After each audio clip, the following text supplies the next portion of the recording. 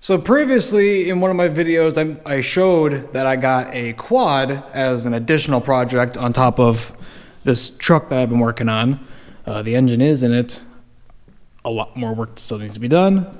But that quad is now this quad. Same quad, just I rattle canned it red. This is my 1987 TRX 250X that one of the previous owners put a 350X engine in. And if I believe correctly, the 350X was only available in the ATC three wheeler, which is pretty badass. But uh, obviously, this is not what it used to look like. It used to look like this. I got it for a thousand bucks, and it ran really good, shifted really good, but it needed some TLC, needed some tires, and now it looks like this. So obviously, it's red now. I sanded the fenders, sprayed them red. I used Rust-Oleum um, Apple Red, I believe. And these stickers that I got off of eBay matched up perfectly, unintentionally, and I fucking love it. It actually looks really good. And since it's a 350X, I figured might as well throw the 350X on there. But uh, overall, the paint actually turned out really nice. I was very happy with it. And then I, you know, got my Honda stickers, got GoPro, banging for banging gears, and then the perfect place for this Seaboy sticker that I've had for a while. And uh, when, once I got this wheeler all painted up and I put this on here, I was happy. And then put the 350X on, and I was even happier. so overall, it's a really good quad. It runs really good.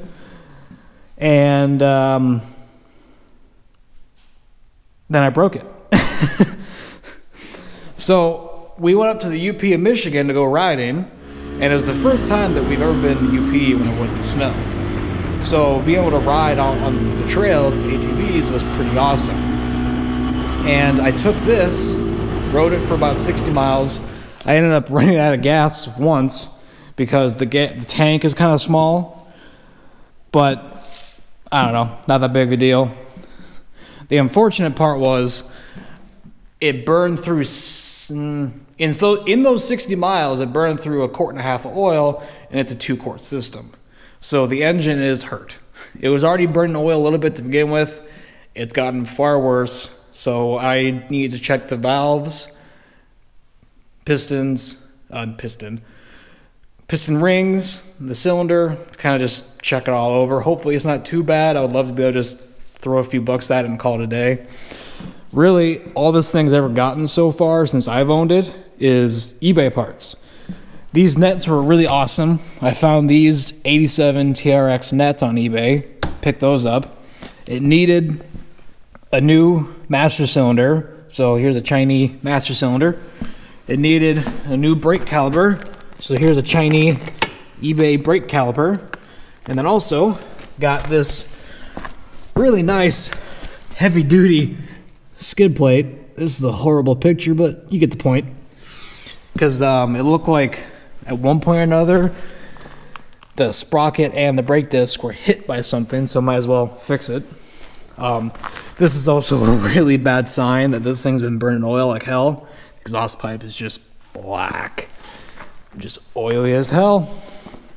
But overall, it's been really good. All the brakes work nice now. I got brand new tires on it. These are Quad Boss tires, front and rear, that I got off of Dennis Kirk. And uh, they worked out really nice. They have really nice traction. I was able to rip around and enjoy myself up until I found that I was almost out of oil, so I parked it. It still fires up kind of. Um, I'll let you know that this thing is dead cold. So the chances of it starting right away are slim, but I don't know. Let's try it, see what happens. And uh, like I said, it burns a lot more oil than it did before, so this is going to be smoky.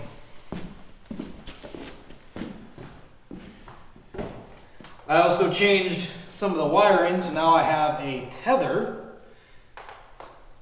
So if I eat it, it doesn't run away from me, which I've seen people do. Oh.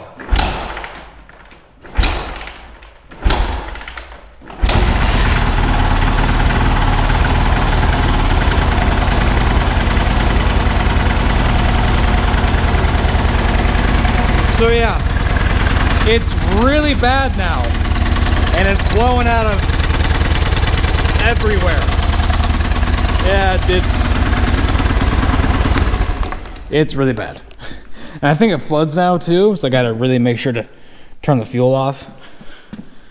But uh, yeah, it it's it smokes really bad now.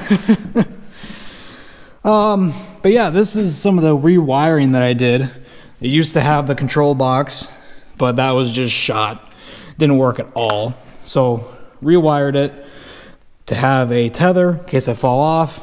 Whoever built this with the 350X engine in it put the on off switch right in here, which you can't see, but it was just a little toggle switch. You had to reach down to hit the toggle switch to shut it off.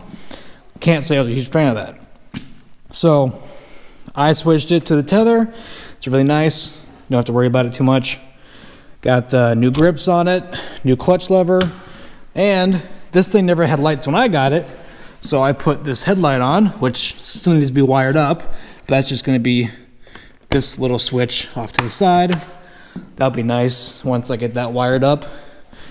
It also has no tail lights, but I decided to put this reflective tape on there so if somebody does come up behind me, they can see me.